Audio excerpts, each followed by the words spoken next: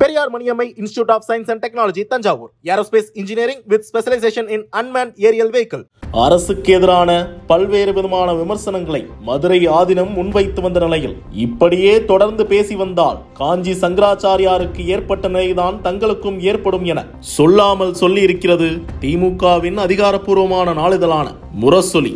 தமிழக அரசும் முதலமைச்சரும் துறை சார்ந்த அமைச்சரும் தமிழகம் அமைதி பூங்காவாக அனைத்து மதத்தினரும் அண்ணன் தம்பிகளாக ஒன்றிணைந்து வாழ வேண்டும் என்ற நோக்கில் எடுக்கும் முடிவுகள் பலராலும் பாராட்டப்படும் நிலையில் மதுரை ஆதிநகர்த்தர் மட்டும் வெறுப்பு உருவாக்கும் நிலையில் தொடர்ந்து கிறுக்குத்தனமாக பேசி வருகிறார். அமைச்சர்கள் வெளியே நடமாட முடியாது என்கிறார் அரசியல்வாதிகளுக்கு.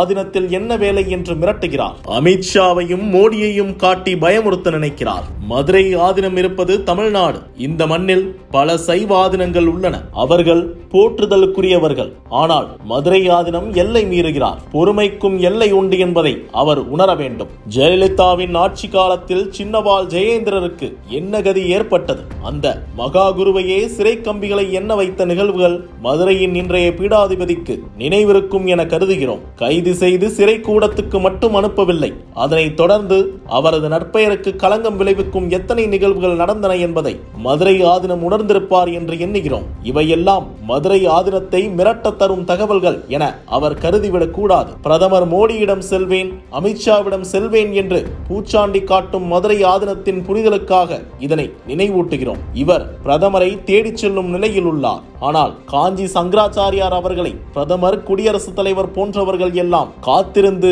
தேதி வாங்கி பேட்டி கண்டு சென்றவர்கள். அப்படிப்பட்ட காஞ்சி சங்கராச்சாரியாருக்கு ஏற்பட்ட நிலையை எல்லாம் எண்ணி பார்த்து பேச்சில் மதுரை ஆதினம் சிறிது நிதானம் காட்ட வேண்டும். காஞ்சி சங்கராச்சாரியாருக்கு இருந்த அரசியல் பலம் பத்திரிகை பலம் பக்தர்கள் பலம் இவற்றோடு ஒப்பிட்டால் அரியர தேசிக ஞான சம்பந்தர் ஒரு ஜீரோ மத தலைவர் என்ற போர்வையினால் பாதுகாப்பு கிடைக்கும். எதை வேண்டுமானாலும் பேசலாம் என்று கருத வேண்டாம். பொது அமைதிக்கு ஊறு தேடுபவர்கள் கிரிமினல் குற்றங்களில் ஈடுபடுபவர்களை அவர்கள் யாராக இருந்தாலும் வேடிக்கை பார்க்க இயலாது. சட்டம் தனது கடமையை செய்திடும் என்பதை மதுரை ஆதினம் தெரிந்து கொள்ள வேண்டும் என்பதற்காக மேலே கண்ட நிகழ்வுகளை நினைவுபடுத்தினோம். இப்படி அனைத்தையும் குறிப்பிட்டுள்ள முரசொலி நாளிதழ் கடைசியாக தமிழக முதல்வர் குறித்து பிஜேபியின் ஹெச் ராஜா கூறியதையும் மதுரை ஆதினத்திற்கு சுட்டிக்காட்ட விரும்புகிறோம். Stalin is more dangerous than Karunanidhi. H ராஜாவின் இந்த பதிவில் பல பொருள்கள் பொதிந்துள்ளன. இதனையும் ஹரிஹர தேசிகர் உணர வேண்டும் என்று அந்த கட்டுரையை முற்றுப்புள்ளி வைத்து முடித்துள்ளனர்.